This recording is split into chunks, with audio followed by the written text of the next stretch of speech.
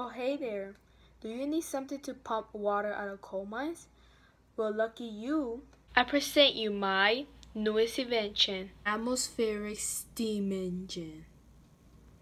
The best steam engine out here. You may think, what is used for?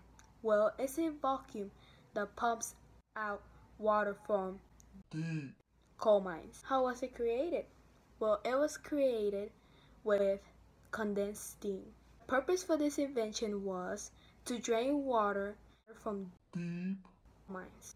By the way, it was a vital component in the Industrial Revolution in Britain. Brought you by me, Thomas Newcomen. Visit my website www.bestatmosphericsteamengine.com. Also, save up 50% off on your atmospheric steam engine.